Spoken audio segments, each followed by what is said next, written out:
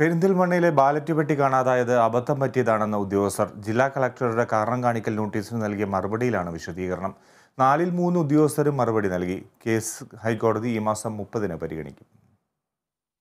പെരിന്തൽമണ്ണ മണ്ഡലത്തിലെ special ballot വെട്ടി കാണാതായ സംഭവത്തിൽ നാല് ഉദ്യോഗസ്ഥരോടാണ് ജില്ലാ കളക്ടർ വിശദീകരണം തേടിയത്. Perinthalmanna sub treasury officer Satheesh Kumar senior accountant S Rajeev Malappuram സഹകരണ ജോയിന്റ് രജിസ്ട്രാർ ഓഫീസിലെ senior inspector C N Pratheesh Thiruvananthapuram സഹകരണ വകുപ്പിൽ ജോയിന്റ് രജിസ്ട്രാറായ എസ് പ്രഭിത എന്നിവർക്കാണ് കാരണം കാണിക്കൽ നോട്ടീസ് നൽകിയത്.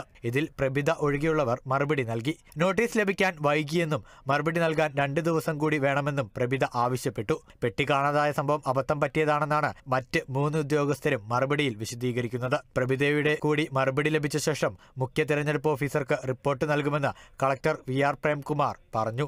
സംഭവത്തിൽ നടപടിയെടുത്ത ട്രഷറി വകുപ്പ് നേരത്തെ രാജീവിനെയും സതീഷ് കുമാറിനെയും സസ്പെൻഡ് ചെയ്തിരുന്നു. കേസ് വീണ്ടും മുപ്പതിന് ഹൈക്കോടതി പരിഗണിക്കാനിരിക്കെയാണ് അബദ്ധം പറ്റിയതാണെന്ന വിശദീകരണവുമായി ഉദ്യോഗസ്ഥർ രംഗത്തെത്തുന്നത്. Kerala vision news Malappuram.